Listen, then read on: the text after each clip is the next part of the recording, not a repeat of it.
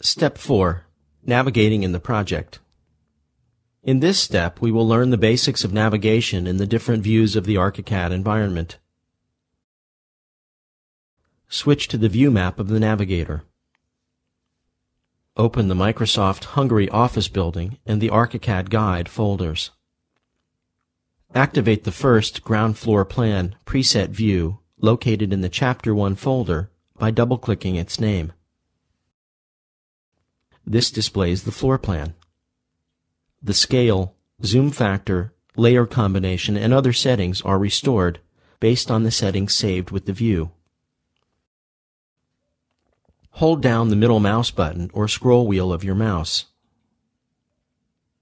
At the moment you push down the middle mouse button, the cursor turned into a hand symbol, signaling that you entered the pan mode. When moving the mouse in pan mode, you can drag the view around in the window. Perform panning a couple of times to familiarize yourself with it. Now, let go of the button and start turning the scroll wheel. As you can see, you can use the mouse's scroll wheel to quickly zoom in and out of any part of the current window. When zooming, the project will zoom in and out, such that the position where the mouse cursor is located stays in place. Now take advantage of these easy-to-use navigating tools and perform some zooming and panning to practice them. These two functions are available in all viewpoints of the project for fast and easy navigation. Let's try it out. Activate the next Generic Perspective preset view located in the Chapter 1 folder. The 3D window is opened and the 3D model of the project is generated. Here you can pan and zoom the same way you did in the floor plan window.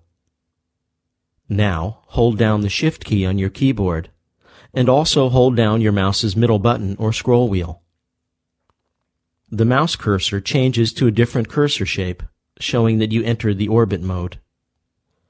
Move your mouse around to orbit around the 3D model. As you can see, you can freely rotate the model around in 3D. Do some orbiting to get a general idea of how to do it. If you are too close to the model, you can zoom out. The model always rotates around the portion that is located in the middle of the 3D window, so you can pan around the model and then orbit so it's rotated around any desired point. The model can be orbited in any direction, so you can move around it as if you were moving on the surface of a sphere. Spend some time familiarizing yourself with zooming, panning, and orbiting in 3D. Also, try using these functions in combinations.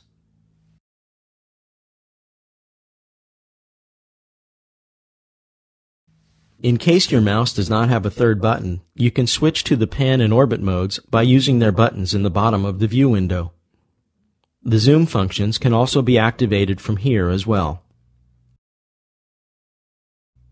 The 3D project view is also an integrated representation of the virtual building. All the changes you do in the 3D window will be immediately reflected in all other views of the project. The benefits are clear. You save time and can ensure complete coordination between documents. Switch to the next section preset view. A section view opens up. Sections, elevations, and interior elevations are generated based on their marker placed on the floor plan.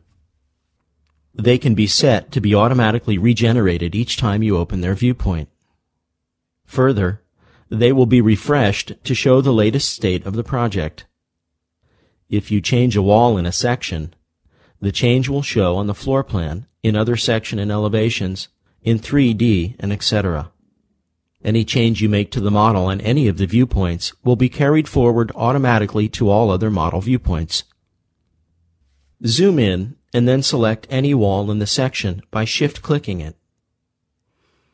When any element is selected, the info box shows its settings such as elevation, height, thickness, material, etc.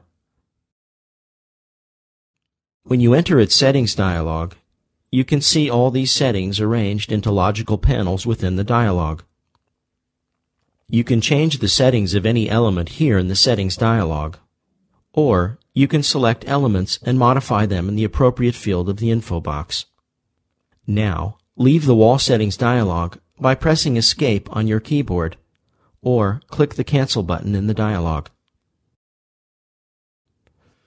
Activate the last window list preset view of the Chapter 1 folder.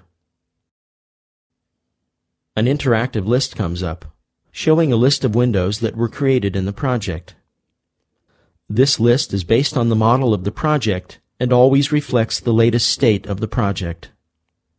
It is interactive, which means that if something is changed here, the changes will be reflected in all other viewpoints. The benefits are clear. You save time and are assured complete coordination between all the project views and documents.